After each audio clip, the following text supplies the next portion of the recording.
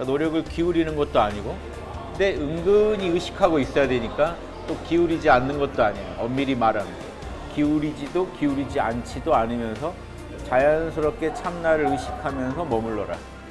힘은 쫙 빼되 일주견성은 원래 초견성이에요. 초견성 요결이. 진짜 견성은 일지에 사는 게 진짜 견성이고 두 버전으로 했잖아요. 기독교는 칭의 요결해서 칭의에 해당되는 게 견성이다. 요즘 요즘 닉마파 책 많이 보니까 거기 닉마파식 스타일로 한번 우리식 수행법을 닉마파의 족첸이나 까큐파의 마하무드라 이런 그 티베트 불교의 최상승선 스타일로 한번 정리해 본 거죠. 이번에 견성역에 올라간 게 이대로만 하면 일주가 뭐 학당에서 많이 나오지 않을까 그런 생각이에요. 이거는 한번 보면은 노력을 기울이지도 기울이지 않지도 않으면서 자연스럽게 참나에 머물러라. 티베트 불교 최상승선은 그냥 가장 자연스러운 상태에 머물러라 이거거든요. 그러니까 근데 이게 이, 이 설명을 내가 붙인 게 이 말도 가능해. 노력을 전혀 안 기울이면서 힘을 쫙 빼고 자연스러운 참나 상태에 머물러라 이 말도 맞는데 노력을 기울이지도 기울이지 않지도 않으면서라고 한 게 내가 그러니까 노력을 기울이는 것도 아니고 근데 은근히 의식하고 있어야 되니까 또 기울이지 않는 것도 아니에요. 엄밀히 말하면. 엄밀히 말하면 은근한 몰입이 이어지는 거예요. 은근한 관심이 이어지는 거예요. 근데 힘을 빼도 그 관심이 이어진다는 측면에서는 힘 빼라 이것도 맞고 힘을 빼라 하지만 은근히는 참나를 놓치지 마라 이런 느낌으로는 기울이지도 기울이지 않지도 않으면서 자연스럽게 참나를 의식하면서 머물러라. 힘은 쫙 빼되 참나를 놓치지는 마라 이런 느낌. 그래서 그 다음에 참나에 안주하면서 여기까지가 좀 선정 측면이라면 정해상수가 일주 초견성이니까 힘 빼라. 힘 빼도 어깨도 좀 풀고 마음의 힘도 긴장도 풀면서도 긴장은 풀렸지만 참나는 은근히 놓치지 않는다. 그렇게 자연스럽게 참나에 머물면서 일체가 참나의 신비다, 작용이다 하는 걸 알아라. 그러니까 참나가 공하니까 거기가 원래 어떤 육군이 들어갈 수 없는 텅 빈 자리니까 육군도 사실은 텅 비어 있다. 이게 반야신경 핵심 내용이잖아요. 그래서 색즉시공을 인가해라 이거지 그 자리에서. 그 참나자 아니면 색즉시공이 인가가 안 돼요.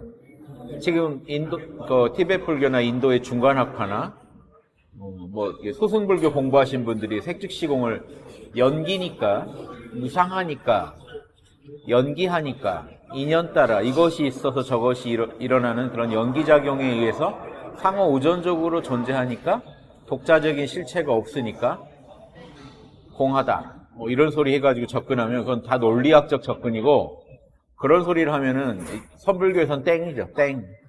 그쪽 최상승 선도 마찬가지예요. 그런 소리 하면 땡이에요. 그런 소리 하지 말고 존재하라. 생각도 하지 마라. 명상도 하지 마라. 그래서 명상이란 건 어떤 대상을 정해놓고 몰입하는 거. 그러지 말고 나 자신한테 바로 몰입해라. 이게 최상승 선이니까 누누이 얘기하지만 그냥 힘 빼라. 그냥 너 스스로 너 자신으로 존재해봐라. 음, 그 상태에서 그 텅 빈 공성을 느껴보면서 뭐 연기 연기하니까 공이다 하는 그런 소리 하지 말고 그런 소리 하면 중간 논리에서 맞아도 닉마파에서도 땡이야 그런 거. 땡. 선불교에서도 땡. 텅빈 자리. 언어도 들어갈 수 없고 인과도 들어갈 수 없는 그 텅 빈 자리. 그 자리에서 이텅 빔에서 나온 육군 또한 육군이 어디서 나왔겠어? 번뇌망상도 어디서 나와? 육군도 어디서 나와? 다 참나 자리에서. 참나 자리에서 일어난다는 걸 관찰하면서 인가하면 되는 거예요. 지식으로 막 배우는 게 아니라 지식도 들어야 되지만 관찰해보면서 내가 지식으로 얻었던 거를 관찰해보고 체험해보면서 맞네라고 인가하는 거예요. 맞네라고 인가하는 게 그 참나의 안주에서 할 일이죠. 일체가 참나의 신비네, 공의 신비네, 일체가 공이었네. 그러고 그럼 내가 에고가 안 달릴 게 아니라 참나한테 맡기면 되겠네 하고 일어난 자리에 맡기면 절로 사라지겠네 하고 내려놓고 좀 쉬어라, 힘 빼라. 그래서 번뇌망상도 참나 자리에서 나온 거니까 거기서 일어나고 거기서 사라지는 거니까 이것까지 인가가 돼야 돼요. 일체는 참나 신비니까 거기 맡기면 된다 그 자리에 고말 안에 다 들어있는 거니까 번뇌가 거기서 일어나서 거기로 사라지니까 참나 51% 아니어도 되지만 51%를 유지해주면 번뇌가 더 잘 사라지겠죠. 일어나고 사라지는 게 더 관찰하기 쉽겠죠. 참나 자리가 넉넉히 번뇌 만나기 주목만 하다면 이거는 뭐 거친 비유지만 참나가 더 커야 번뇌 망상이 여기 안에서 자유롭게 놀고 사라질 거야. 구, 구름이 아무리 무섭게 일어나도 하늘이 더 커야 별거 아니지. 하늘에서 일어났다가 사라지는 거야. 그러니까 구름도 아무리 뭐 지가 용을 써봤자 하늘에서 일어났다 하늘에서 사라진다. 마찬가지로 번뇌만상이나 온갖 육군작용이 참나에서 일어났다 참나로 사라진다. 참나 자리만 넉넉하게 내 마음 안에서 드러나 있으면 그러니까 내 마음 안에서라는 게 중요해요. 그럼 참나는 원래 광활한데 내가 왜 참나를 키웁니까? 본래 광활한 자리일 텐데 공한 자리일 텐데 참나는 본래 공한데 내 마음 안에서 참나가 51% 이상이냐 이게 중요하다. 내 마음 안에서 번뇌가 지금 난리치는 거니까 내 마음 안에서 그놈 잡을 참나가 번뇌 망상 이상으로 넉넉히 51% 이상으로 드러나 있느냐. 그러면 그것만 드러나게 해주면 그 공간만 확보해주면 닉마파에서는 광활한 공간, 열린 공간이라고 그래 참나를 무한한 가능성을 품은 열린 공간. 그 공간만 열어주면 번뇌망상 거기서 일어났으니까 글이 사라집니다. 리그파라고 해서 참나를 릭파, 리그파 그러는데 골이 사라진다. 공간만 확보해라. 사라진다. 참나 자리에서 에다가 번뇌를 그러니까 내가 늘리게 하듯이 영화 달마의 놀자에 나오는 깨진 독과 같은 우리 에고의 번뇌를 우물에다 던져버리면 충만해진다. 마찬가지로 번뇌망상도 참나에다 던져버려라. 우리 우리 입장에서는 그럼 방법은 뭐냐? 몰라 하면 돼. 몰라. 나는 어떤 것도 분별하지 않겠어. 몰라. 망, 번뇌망상을 없애게 없앤다는 생각도 안 할 거야. 노력을 기울인다 안 기울인다 생각도 안 할 거야. 번뇌망상을 없애야지 뭐 말아야지도 안 할 거야. 그냥 몰라 해버릴 거야 하고 가장 나다운 모습, 참다운 나, 참나 상태로 있으면 번뇌망상이 2년 따라 일어났다, 2년 따라 사라진다. 참나 자리.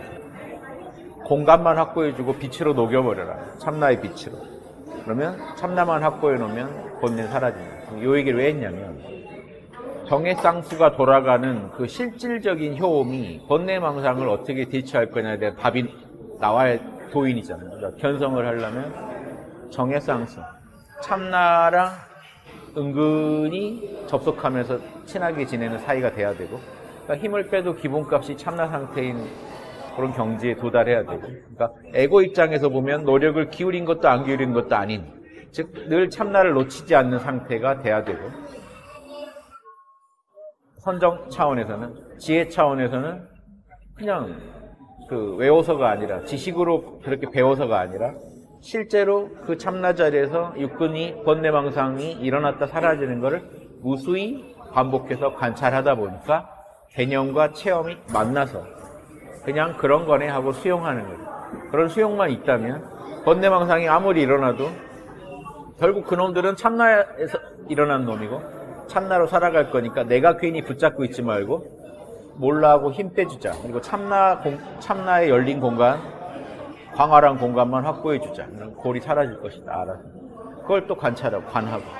이게 대행스님이 주인공한테 다 던져놓고 관해라. 어떻게 돌아가냐. 그게 또 돌아가기만 하는 게 아니라 거기서 다시 나올 때는 연금술이라 분노를 던져놓으면 참나에다 던져놓으면 그놈이 녹아서 다시 올라올 때는 인욕바람일로 올라올 수 있다. 더 정화돼서 순수하게 올라온다. 깨어있는 에고작용으로 순수한 육바라밀의 보리심으로 올라올 수 있다. 여기까지 관찰하면 이제 우리가 제대로 일주를 지나 일지보살로 향해 가는 거예요. 그러니까 번뇌망상 녹이는 건 기본, 녹였더니 육바라밀로 화해서 나오더라까지 연구하면 제대로 이제 일주에서 일지로, 즉 기독교식으로 말하면 칭리가 탄탄해지고 성화로 나아가는 거예요.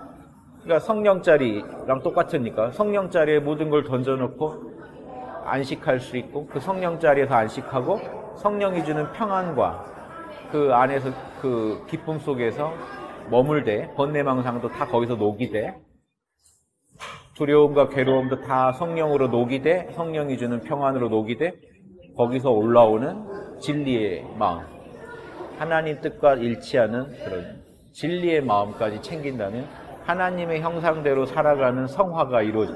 성화는 내가 잘해서 되는 게 아니라 하나님의 형상이 내 안에서 자꾸 자꾸 발동해야 돼.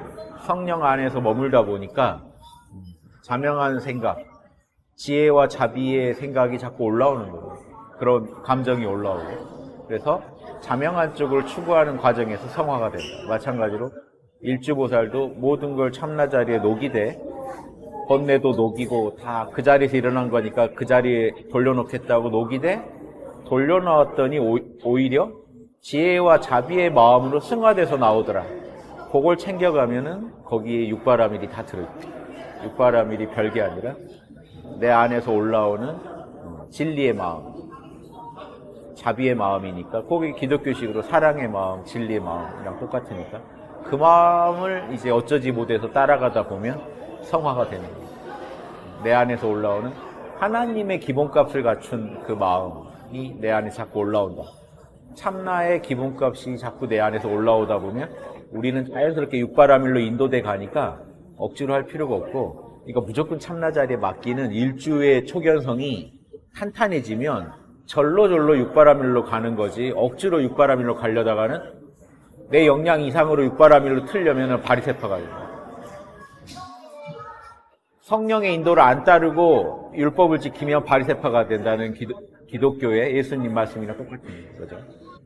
그렇게 생각하고 공부하면 좋겠고요. 그래서 이번에 견성여결, 칭의여결이 그냥 나온 게 아니라 어, 모든 분들이 가장 핵심을 알고 빨리 참나와 친해지고 성, 성령과 친해져서 삶의 방향을 잡아갔으면 좋겠다 하는 입장에서 그래서 우리 내면의 기본값이 이제 음, 에고의 기본값에서 참나의 기본값이 더 영향력을 발휘하는 그런 우리의 마음으로 바뀌어 가야 되지 않겠나.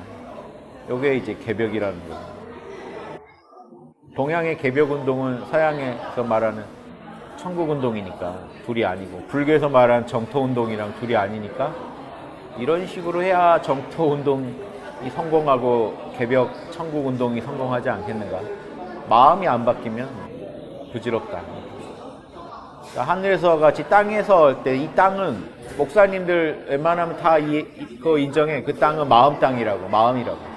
그럼 하늘에서 같이 내 마음에서도 아버지 뜻이 이루어져라. 그게 성화예요. 그게 칭의죠, 칭의이고 성화란 말이에요. 그게 불교적으로 견성 성불이. 칭의 성화가 다른 말이 견성 성불이. 똑같아. 견성에서 이제 부처까지 돼보자. 견성에서 부처의 부처의 언행까지 갖춰보자 하는 거. 그게 성불이니까 그렇게 공부하면 좋겠습니다. 아무튼 힘 빼도 노력을 안 해도 참나가 의식되는 지 늘 점검하자 일단. 참나에게 모든 것을 맡겨보자. 일체가 참나 자격인 걸 거듭거듭 관찰하면서 인가해보자. 자기 눈으로. 남의 말 믿지 말고 자기가 자명하게 확인하자. 그리고 수용하자.